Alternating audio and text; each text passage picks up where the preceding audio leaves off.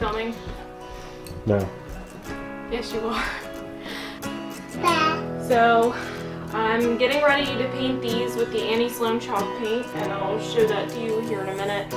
Um, I'm just taking off the last bits of hardware, and now I'm going to wipe it off with a damp microfiber cloth, just to make sure there's no dust or any dirt or anything.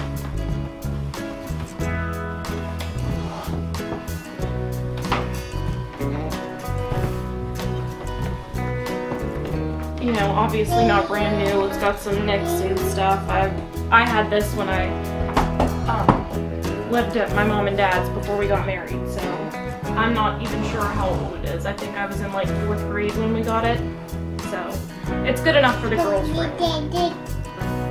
Anyway, this is the paint that we're going to be using, the Annie Sloan paint in the Chicago Gray. Um, and I have the brush over there. This is the brush. I think it's a medium size. I'm not really sure. Um, but I have a lot of surface area to cover. That's why I got the medium. It's the natural bristle, so people want to know this stuff. Alright.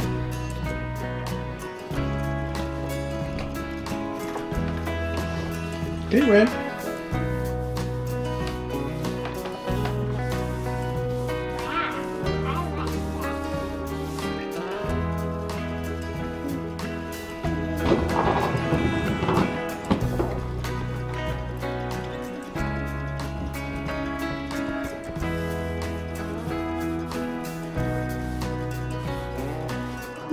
so yesterday I finished the dresser.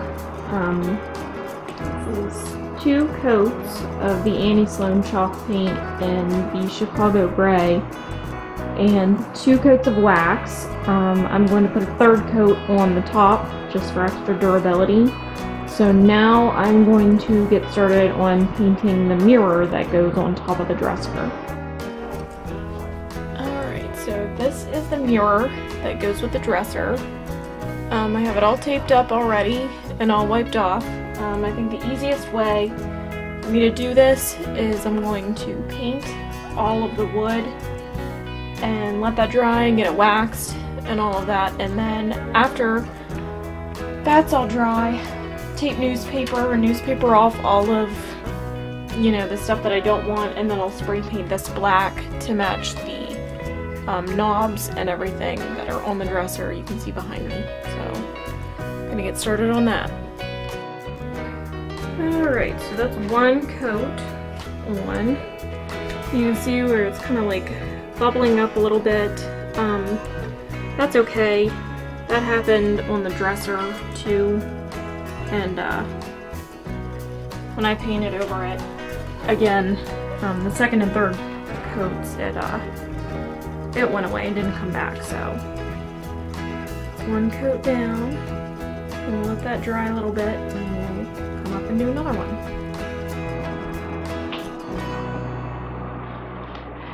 So since it's been over 24 hours, um, I'm going to go in with the third coat of the Annie Sloan chalk paint wax. Yeah, there we go. With the Annie Sloan wax brush. Looks like that, tapered edge. You only need a little bit of this. Um, a little goes a long way, and you don't want a bunch of uh, excess. So let's get the third coat on and get it extra protected. I already have done like half of this. So I'm just feeling. I just kind of dot it on. And then just every which way. Um, you just kind of like push it in to the paint. Um, it's not like polyurethane or like other sealants. Just take a very little bit. I don't know if you can tell. I don't have a whole lot on there. That, okay, that looks kind of like a lot, but I'm gonna spread it all out.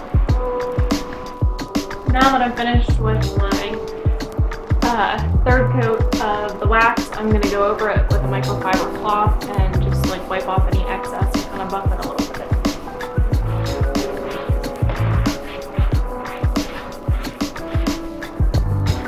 Alright, now it is done. Finally finished and it looks so good. It's even better than I thought it was going to be. I've never done anything like this before. Um, I'm really proud of it and I can't wait to do a whole bunch of other things.